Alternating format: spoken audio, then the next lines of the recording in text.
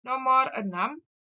Ibu meletakkan buah mangga yang baru dibeli di atas meja. Buah tersebut memiliki kulit yang berwarna hijau.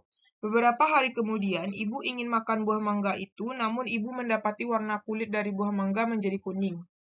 Pernyataan berikut yang merupakan rumusan masalah yang sesuai dengan fenomena tersebut adalah, nah, ingat ya, rumusan masalah itu berupa pertanyaan. Nah, jadi di sini yang berupa ada tanda tanya, yaitu jawabannya yang C. Mengapa terjadi perubahan warna pada kulit buah mangga? Nah, jadi jawabannya C ya. Next, nomor 7. Riva menimbang massa dari sebongkah batu menggunakan neraca dan diperoleh hasilnya sebesar 0,53 kg. 0,57 maksudnya ya.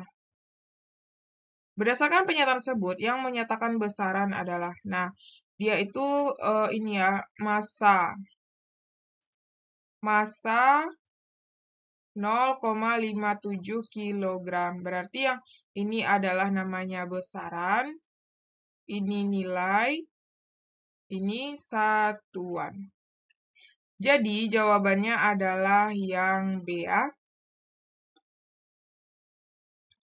Nomor 8, perhatikan tabel berikut. Hubungan antara benda, besaran, satuan, dan ukur yang benar adalah. Nah, berarti uh, di sini kawat panjang satuan enggak, ini salah nih. Satuannya adalah meter seharusnya ya. Minyak masa jenis dia satuan SI, salah nih. Mobil bergerak dengan kecepatan uh, satuannya meter per second, speed, alat ukurnya speedometer benar udara itu adalah udara besarannya suhu, satunya Kelvin.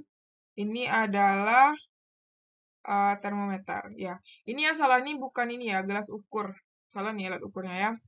Jadi jawabannya adalah yang D, nomor 8. Nomor 9, hal yang berkaitan dengan syarat-syarat yang harus dipenuhi dalam satuan sistem internasional ditunjukkan oleh Nah, jadi di sini e, bersikap, bersifat tetap, ya. Kemudian mudah ditiru, ya juga ya, mudah ditiru. Bersifat internasional, ya. Jadi jawabannya 1, 2, 3. 1, 2, 3 yaitu yang B ya. Nomor 10. Perhatikan gambar berikut.